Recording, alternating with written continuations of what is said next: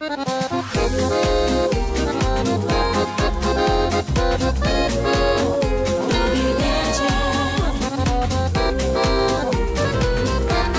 продолжаем вместе со всеми легендарную песню «Зимний сад» пела Алена Ровба из Борисова. Здравствуйте, Алена. Здравствуйте. Вы увлекаетесь не только музыкой, но и называете себя собирательницей кукол. Это так? Все верно. В моей коллекции более трех с половиной тысяч кукол. Там есть Ничего различные куклы. И, в принципе, у меня, наверное, куклы со всего мира. Вот нет, наверное, на карте такой точки, откуда у меня не было бы. Более того, куклы не просто в коллекции, но там еще есть и советские Дед Морозы.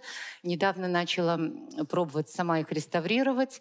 Ну, как получается, по крайней мере, спасаю то, что приходит. А вообще, кто-то представляет, сколько нужно места, А чтобы... где они хранятся? Да. вот такой вопрос. Мы с мужем построили большой дом. У нас первый этаж получилось так, что вместил и нас, и трех наших детей. Поэтому второй этаж оказался абсолютно непригоден. Вернее, он нам даже не нужен был. Поэтому все куклы, вся Остальные шесть коллекция... этажей это уже кукла, да? Да, все верно. Все верно. Все остальная коллекция расположилась на втором этаже.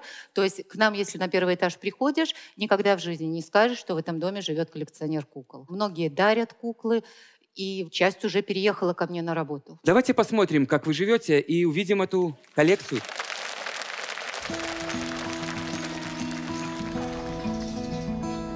Я родилась в Борисове. Это мой родной город, и я люблю его всей душой.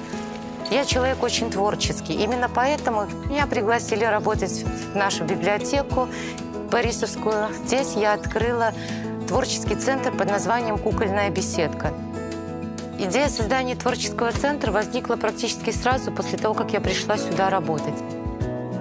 На стеллажах находится огромное количество кукол, но, естественно, у меня есть свои любимицы.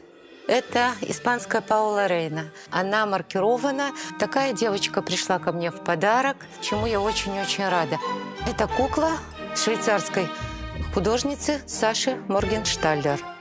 Даже могу смело сказать, что это жемчужина моей коллекции. Название «Кукольная беседка» родилось просто потому, что мы здесь не просто трудимся. Детки, когда я провожу экскурсии, они же делятся своими историями. Именно поэтому в нашей беседке беседа льется рекой. Оставшаяся коллекция находится у меня дома, на втором этаже. Поехали. Я уже была взрослая, мне уже было 21-22 года, когда стала заниматься именно коллекционированием, собирательством, как я говорю. Муж у меня гродненец. Мы познакомились, когда были еще совсем молодые. Мне было 16, мужу 18.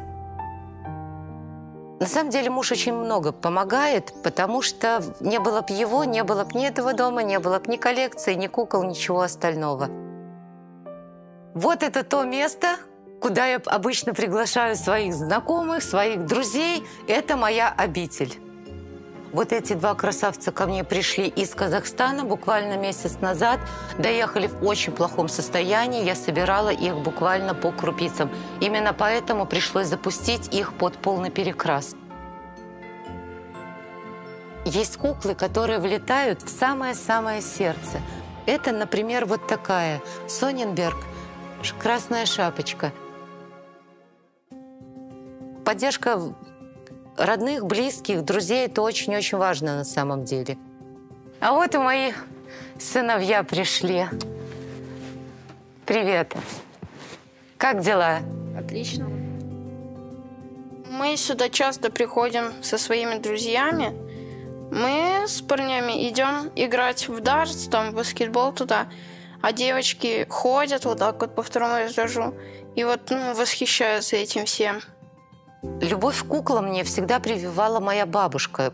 Она всегда показывала, как играть с куклами, как нужно за ней ухаживать.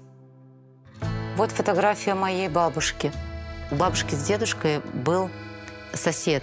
Марина, старшая внучка этого Анатолия, приходила к нам гулять с куклами. Бабушка ее всегда просила спеть. Кладачка тоненькая, а я молоденькая, а я молоденькая. Сердце дал я рог, сердце дал я рог, Ладашку занесло.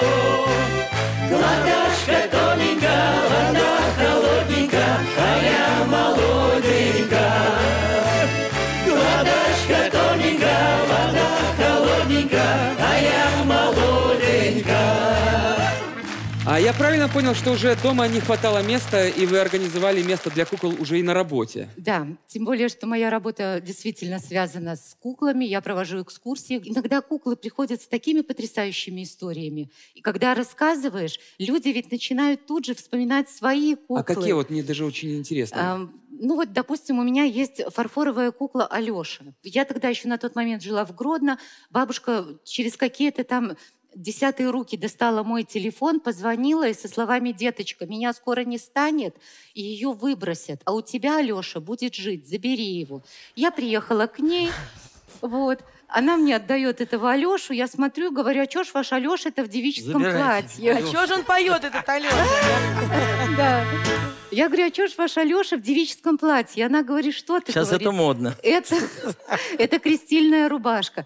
Позже я уже обращалась к коллекционерам, которые более понимают в этой теме. Они сказали, что это, скорее всего, трофейная кукла, э, привезенная во время да, Великой Отечественной войны. Поэтому вот наш советский воин своей дочке привез эту куклу. Она ее хранила всю жизнь, она ее пронесла всю жизнь и в итоге вот подарила мне. Бабушка еще после того, наверное, лет 10 прожила. Я ей каждый год звонила, говорю, все в порядке с вашим Алешей. Говорю, сидит на полочке, улыбается. Вы так интересно рассказываете. Алексей, может, вы хотели бы съездить в Борисов посмотреть на куклы?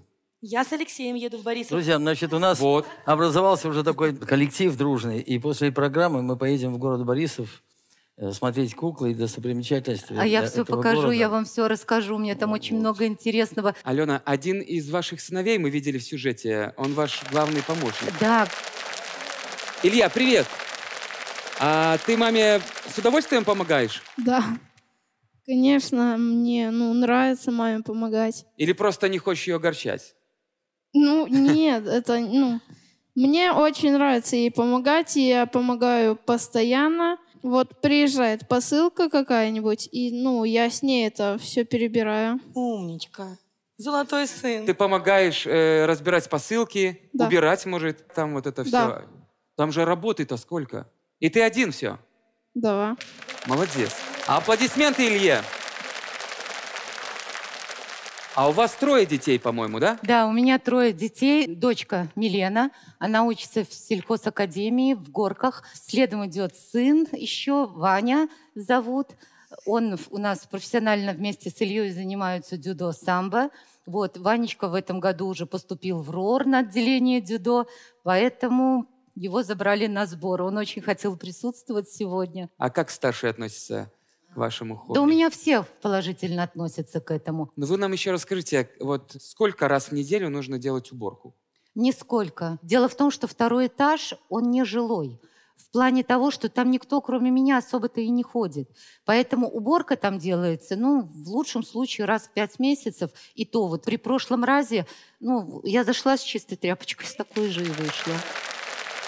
С нами сегодня автор и исполнитель Анатолий Длуский. Добрый вечер. Впечатлила вас коллекция Алены? Добрый вечер. Мне кажется, какая широкая душа Алены, если она смотрит так за куклами, столько кукол. Как повезло детям и как повезло ее мужу. Мне кажется, тоже так тряпочкой протирайте, кормите. Всех, всех берегу. Потому что настолько душевный человек, и как надо любить жизнь, как надо любить детей, как надо любить, чтобы вы все это воплотить да, в любви к куклах. Поэтому спасибо вам большое за такой замечательный сюжет и за вас, что вы такая душевная барышня. Пожалуйста. У вас есть песня, которая подходит как раз к нашей истории. Желанная, милая, нежная, строптивая, страстная, шаловливая, долгожданная. Это все можно сказать и про кукол, который собирает Алена. Есть такая песня у вас? Есть песня, я очень люблю, это одна из крайних моих песен, но я вот, вы столько прилагательных назвали, да, женщине, я долго не знал, как назвать, и желанная, и любимая, и строптивая, потом мне почему-то казалось шаловливая, очень мне нравилось. Да, вот это слово возник Но вопрос. ш- Шаловливая, да. да. но шалунья, да, нет. Поэтому как Алене, она такая классическая женщина. Поэтому вот именно для вас сегодня Песня называется «Желанная моя». Отлично. В шоу «Добрый вечер» Анатолий Длуцкий с песней «Желанная». Встречаем! Скажите, а какая кукла в коллекции самая желанная для вас? Ну, на сегодняшний день я хочу и мечтаю еще об одной антикварной кукле. У меня есть одна Кэмми Ренхард. Это начало 19 века. Ну, хотела бы еще, может быть, Арман Марсель что-нибудь. Вот из этих мастеров. По каким критериям вы выбираете? Коллекционная, не, коллекционная кукла? Нет, здесь не совсем верно говорить, что я коллекционер кукол, потому что коллекционеры, как правило, сами решают направление, э, то, чем они занимаются. Я скорее собиратель, собиратель детства, вот чего-то по крупицам. И, как мне часто говорят, что именно в игрушках можно посмотреть и просмотреть связь поколений, то, как люди жили. А вот смотрите, у меня есть э, кукла вот такая, вот, это коллекционный экземпляр. Мне очень Нет, нравится. но у меня в коллекции его подружка есть, не поверите. На меня похож. А чем? Да. Прической моей? Глазками, глазками большими, круглыми. Такой хорошенький. У вас есть подружка, а мы хотим вам дружочка. Спасибо Пожалуйста. огромное. Я, Я не знаю, насколько она подходит. Главное, чтобы красиво приму. и от души. Да. Спасибо большое. Ай, какой хорошенький. А вы мечтаете создать музей, это так? Все, скорее всего, к этому идет. Потому что если вначале я этим начинала заниматься для себя, но я же вижу, что говорят люди, что вот было бы здорово увидеть это все в полном объеме. У вас есть секрет, в отличие от многих здесь сидящих, вы не поете. Нет, совсем. Но сегодня, по-моему, хотите попробовать премьеру для нас сделать, да? Я попробую. Поддержим? Приглашаем вас на сцену. Сегодня премьера.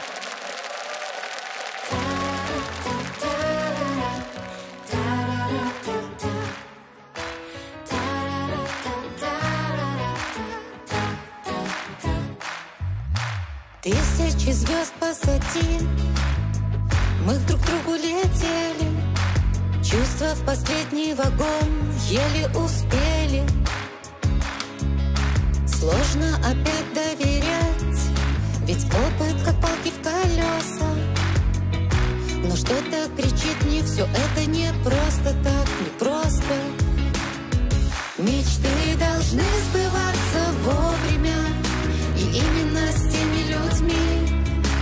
просто шепотом без повода.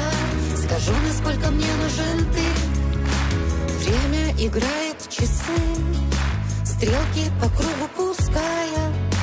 Мы ежедневно бежим за целью у края. Птицу, что счастьем зовут. Ловим уперто бездушно. Забывая, что для счастья нам много не нужно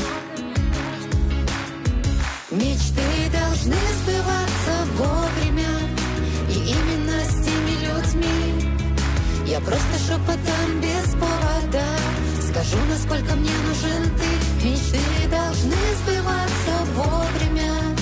И именно с теми людьми я просто шепотом без повода Скажу, насколько мне нужен ты Мечты должны сбываться вовремя, это безусловно. Давайте вернемся к подаркам нашим. Это что, скажите у нас? Ну, наша белорусская лялька такая, парижская, можно сказать. Вот, смотрите. Агрогородок Париж, Поставский район, Витебская область. Это вот башня вот эта, да? да, вот наша башня знаменитая. Смотрите. Алена, от шоу «Добрый вечер» мы хотим, чтобы эта кукла была у вас в коллекции. Спасибо большое. Держите. Спасибо, девочки. Спасибо большое. Я знаю, что все белорусские куклы, они создаются э, в зависимости от того района, где живет автор. И наряд у них, у каждой может быть другой. Теперь я ее подпишу, я буду знать, откуда она. Спасибо вам большое.